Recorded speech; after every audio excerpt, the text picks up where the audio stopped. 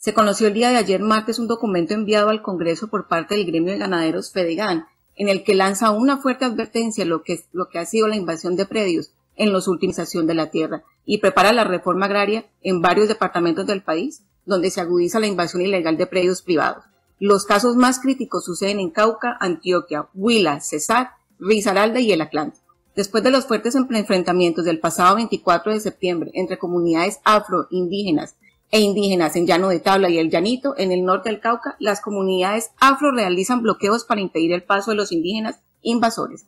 Las denuncias de los afros apuntan a que todo este enfrentamiento proviene desde que los indígenas del CRIC llegaron disparándole a la población civil que vive en la zona y que el problema viene desde hace mucho tiempo atrás.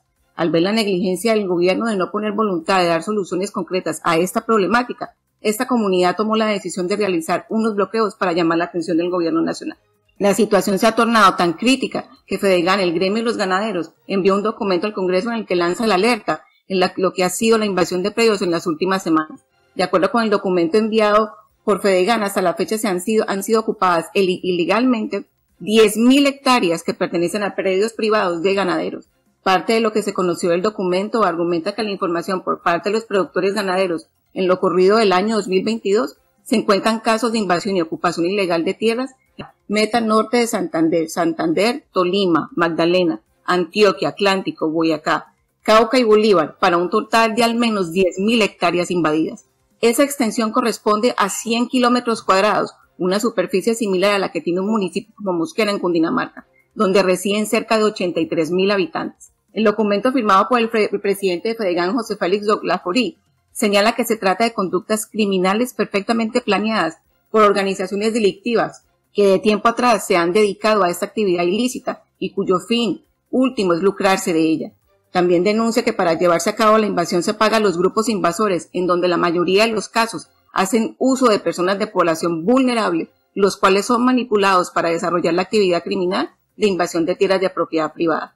Recordemos, doctor Londoño, que hace poco desataron la polémica por las declaraciones del doctor Laforí al proponer hace varios días un grupo de ganaderos de reacción inmediata, lo cual el presidente de FAEGAN aclaró que esas brigadas solidarias ganaderas son entidades como grupos de ganaderos que desean voluntariamente brindar acompañamiento pacífico con presencia solidaria, respaldando a la fuerza pública cuando se presenten afectaciones o potenciales vulneraciones al derecho de propiedad privada, a la vida, integridad y los bienes de los productores ganaderos del país.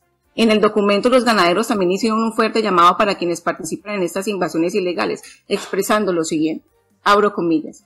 La realización de estas conductas a través de las vías de hecho está claramente regulada en nuestro Código Penal, como son la usurpación, la invasión propiamente dicha, de la perturbación de la posesión pacífica, daño en bien ajeno y el avasallamiento de reciente consagración en la ley de seguridad ciudadana, conductas que pueden realizarse de manera concurrente por parte de los invasores. Es evidente, doctor Londoño, que si la legislación penal los consagra, porque las mismas son totalmente contrarias a la sana y pacífica convivencia dentro de un Estado de Derecho. Sí, señora.